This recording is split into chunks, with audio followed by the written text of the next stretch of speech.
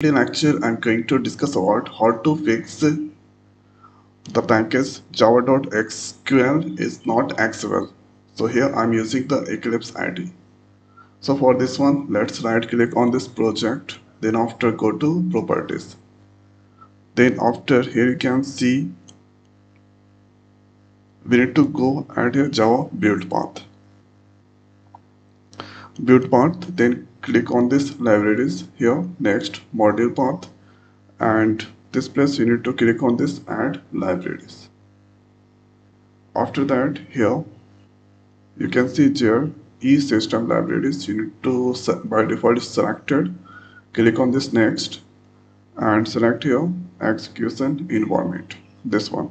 So here jdk20 is taken automatically because if i go on this command prompt and if I write here java.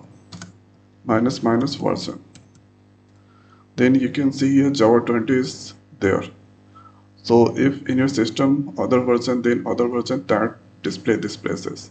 In my system 20 so that 20 it's displaying now here automatically it's taken jdk 20 after that click on this finish. Then click on this apply and close then you can see here red mark that gone. And here I'm getting the message the import java.util is never used. So you need to use. Okay. So this is here. Uh, error that gone but only warning is there. So this is how we can fix. Java.sql is not accessible. And after that you can add the driver and you can use this package inside Eclipse IDE. So this is how we can fix this issue. So now in this video it's over. So thanks for watching. See you next video. Thank you.